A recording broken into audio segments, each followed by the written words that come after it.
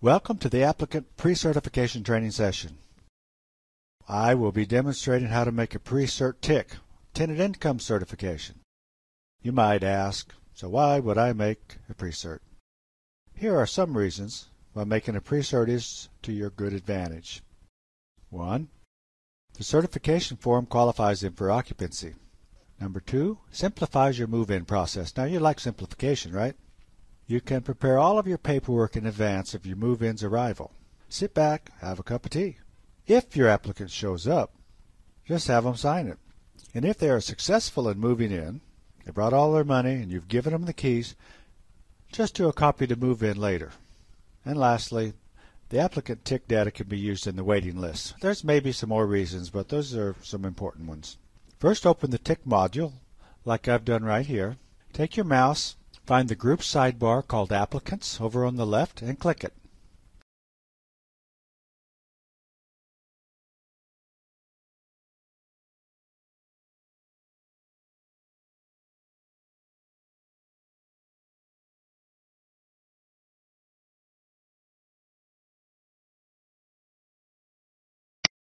That exposes the icons underneath it. Now click the View Applicants button and the grid fills with a list of applicants for your property. Now, I've already made the assumption that you've already entered an applicant. Entering an applicant is another training session. Hopefully you already know how to enter an applicant. If not, view that session. Let's also figure that the criminal background check came back clean and you have all the information provided by the applicant to create a TIC. Now I'm going to get focus on this fine applicant down here and I'm going to double click on it and that will bring up the applicant form. We have another training video that goes into detail about the applicant form functionality. Right now we're going to notice the button at the bottom of the form that says New Pre-Cert. Now this button will not be available in any other modules like the tenant module. When the RD form opens, it starts at the application date. What we're going to put in here is uh, the move-in date, the expected move-in date. If you're not sure what the expected move-in date is, go ahead and make up something reasonably close. I'm going to enter in a date now. I'm going to press enter. And most of the time on uh, these forms in multi-site, especially the data entry forms like this, it's better off if you use a mouse. I mean, uh, better off if you use the keyboard instead of the mouse particularly until you know the flow of this of the system. I'm going to press enter. Now I'm going to go over to the unit ID and I'm going to pick this one, A2. It moves to the tenant subsidy code. See how that field that I'm in where the blinking cursor is is white. Now notice all of the other blue fields on the form. The blue fields are where you could enter information. The white field indicates that's where your cursor is. Now watch, as I put a 1 in here, then I hit tab, I went down to the social security number. Did you see how that turned white? And then I'm going to go from left to right across the page as I enter this information.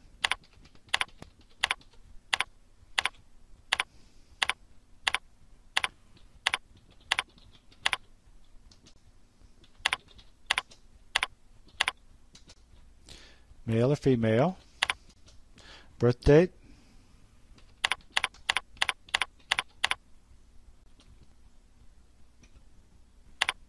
Now the race code, as I entered that, the pop-up form filled up. Because there was nothing in there, the form knows to open. You can also press F2 in most places in multi-site where you want it to bring up a list. Now I'm going to tab into the ethnicity field. What I'm doing is, is I'm double clicking on those, the source, customer declared, now I hit tab and I go over to elderly, handicapped, or disabled. I'm going to press the F2 key and I'm going to put a none in there. Remember F2 key brings up the pop-up list. I'm going to hit tab. Now if I kept going through all of this, see how it jumps from one to the next? But I'm going to cheat a little bit. Hit page down key. Then I'm going to take my mouse and I'm going to put it in the net family assets right here. Now you would think that you could enter information in here, but you cannot. You must press F2 to bring up a worksheet. This is the income summary information just before the worksheet which we are going to next. We've not entered any incomes yet, so this grid is empty. I'm going to press the Add Income button on the lower left right now. Now we're at the actual worksheet. The member number was pre-filled with member number 1. If you had more members, you could now change it to another member. I'm going to hit the Tab key, go down to the care code. If I will be claiming child care allowance later and I want to use this income for income that allows me to look for work, then I would enter a C here. Now the next field says description. I'm going to tab into it, but before I do, I want to tell you something about it. When it on this form, when you tab into an empty field like the description, a pop-up window is going to come up and give you some official choices. Just I'm going to do that right now. You'll be able to choose from one of these forms right here. I'm going to choose a business and I'm going to double click on it. I'm going to press the tab and I'm going to go to the income code and it will give me a list of choices for codes that pertain to business. I'm going to choose W non-federal wage, double click on it. Then I'm going to press enter, go to Social Security benefits claim number. I don't need that for this. If you did need it, Multisite would have pre-filled it. Entity name here, enter the name of employer or institution. I'm going to make up a name. There's business. A tab into the next one. That's hourly or periodic. Now you can change this to a P and the fields will change. You've probably seen this before with other programs. I'm going to leave it as hourly and go down to the rate.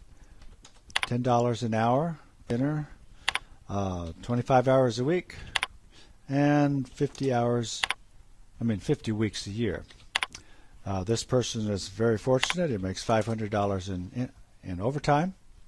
So that brings the annual amount to $13,000. I'm going to press the Save button now.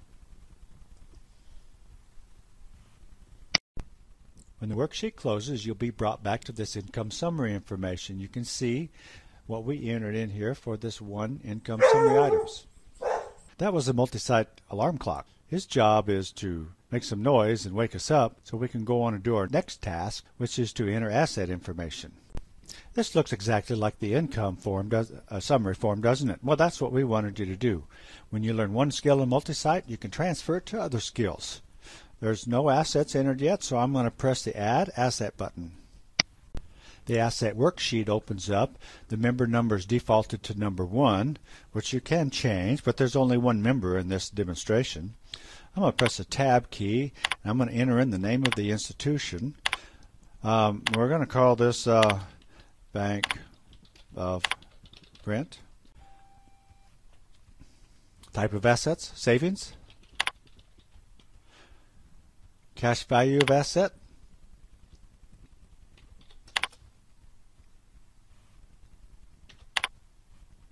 Earned interest rate.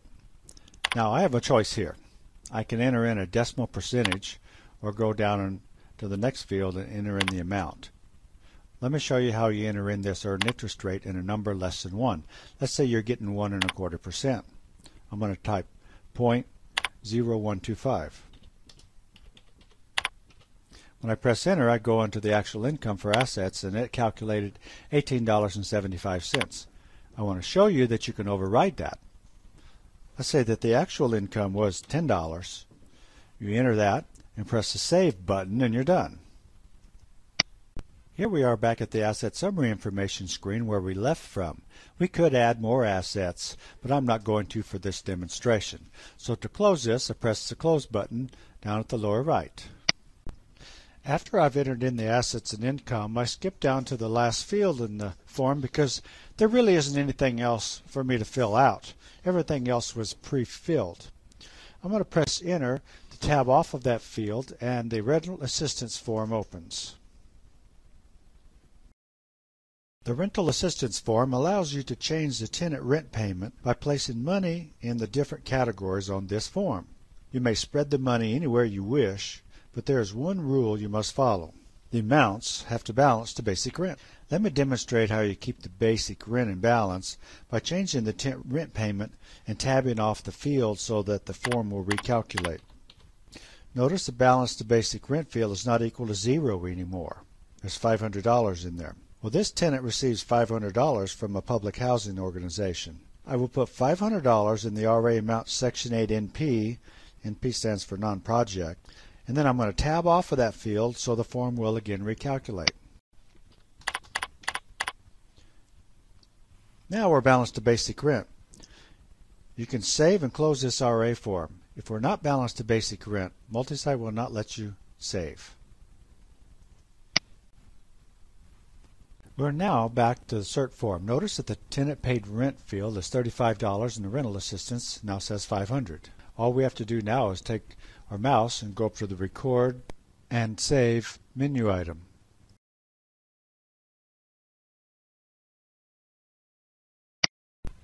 After the pre-certification closes, we're back at the applicant form. Notice the tabs at the top of the applicant form. The third one from the left is called Status. This is where I can change the status of an applicant. I'm going to take my mouse and click on the Status tab. The status choices are listed beside the option buttons on the left side. They are New, Accepted, Rejected, Removed, Update, and Inactive. I'm going to accept this applicant to the waiting list by clicking on the Accepted, the accepted Option button. When I did this, a message box popped up. It says important date time milestone. Important that you up important that you update status change date time like month month day day year year year hour hour minute minute AM PM. I'm going to press OK to get rid of this box. Now the status change date time button has focus. More than likely you're going to change that. It defaults in with this date and time but often you'll be putting this in after the fact, so you will want to change that. The reason that you want to change that is look at the red text over on the right side of that. It reads, important when you change status, update the change state. You will not have another opportunity after saving. This is to keep the integrity of the change dates. Enter like month, month, day, day, year, year, year, hour, hour, minute, minute, AM, PM. This applicant will now show up on your waiting list reports. I would like to personally thank you for taking the time to view this training session. I know how hard it is to watch these without getting distracted. When you watch this video again or any others, please take note of the video player control buttons. They are sometimes located at different parts of the screen. This toolbar allows you to fast forward, pause, reverse, to replay parts of the video that you want to review or skip. Have a nice day.